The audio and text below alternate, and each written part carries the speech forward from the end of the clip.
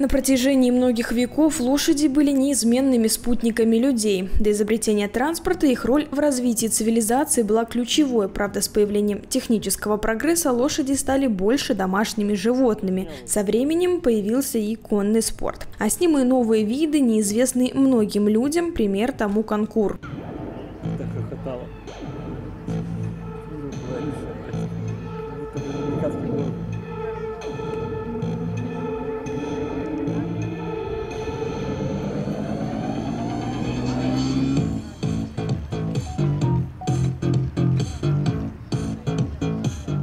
Сегодня конкур – один из самых популярных видов среди наездников. Даже людям, не связанным с лошадьми, интересно наблюдать за красивыми прыжками через препятствия. Более 80 воспитанников конно-спортивной школы и частных клубов со всей страны показали свое мастерство на первенстве Республики Беларусь. Здесь можно было лицезреть грацию и великолепие благородных компаньонов участников лошадей. В рамках первенства Республики Беларусь были маршруты с высотой 130, 135 и 150 сантиметров.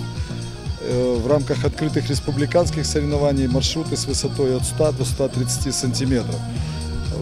Приехало довольно много участников, достаточно сказать, что в Брест давно уже столько не приезжало, то есть мы приняли 45 спортивных лошадей из всей страны. Э, естественно, с лучшими всадниками. Э, в общем-то, приехали республиканские центры, частные конно-спортивные клубы. Всего в соревнованиях участвует более 80 спортивных пар. Конный спорт – один из красивейших видов спорта, потому что это единственный вид спорта, где э, люди выступают в паре с животными. Конечно, должны показать это многолетний труд, многолетняя подготовка. Чтобы пара выехала на турнир, прежде они должны, должны пройти вместе очень много лет. Это одна из самых популярных дисциплин конного спорта спорта. Преодоление препятствий, конкур – это олимпийская дисциплина. А, очень много в последнее время приходят любители, которые люди приходят позаниматься, просто научиться верховой езде, и потом влюбляются в лошадей. И самый быстрый способ – это, конечно, а, преодоление препятствий, потому что проходит конкура, начиная с самых маленьких э, высот для любителей. И потом, если пара растет и показывает хорошие результаты, то они могут составлять конкуренцию профессиональным спортсменам. В последнее время это очень э, развито. Частные лошади, они, конечно, показывают э, высокие результаты.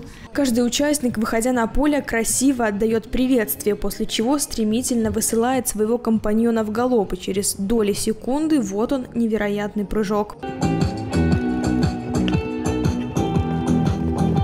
Невозможно было сдержать эмоции. Каждый зритель на трибуне поддерживал участников восторженными аплодисментами. Программа сложная и дело не только в быстром прохождении маршрута, но и пройти его нужно было так чисто, чтобы не набрать штрафных очков на препятствиях. Я пришла в конный спорт, ну, 8 лет назад. Ну, это просто так спонтанно получилось. О, лошадка, хочу покататься. Пошла, покаталась. Потом смотрю, о, еще лошадка, тоже хочу покататься. Вот так вот, типа, раз за разом. И начала приезжать на конюшню, начала заниматься. Э, с каждым годом расту вверх.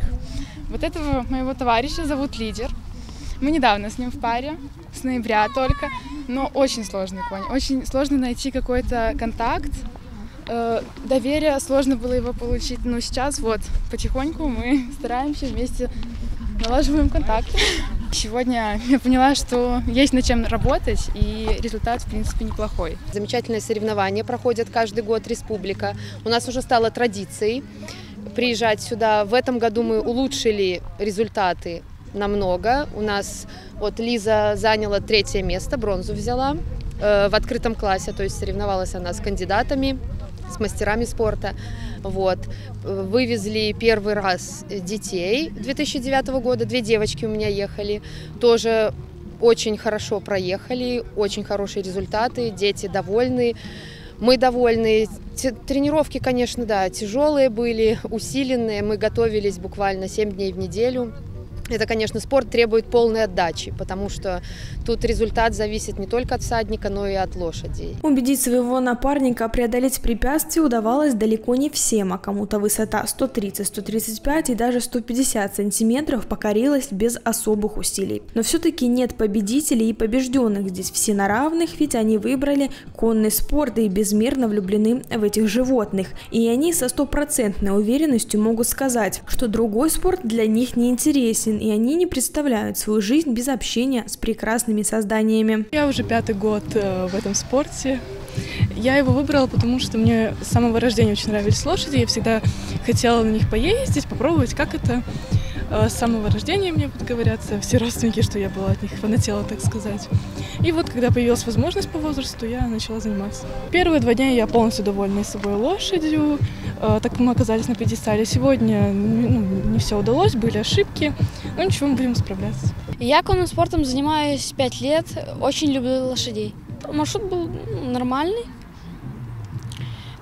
По сложности, ну, это 120. Мы отъехали его хорошо.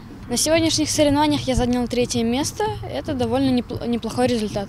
Соревнования оказались достаточно зрелищными и эмоциональными. Были удачи, были и падения наездников, были слезы радости и досады. В результате победил сильнейший.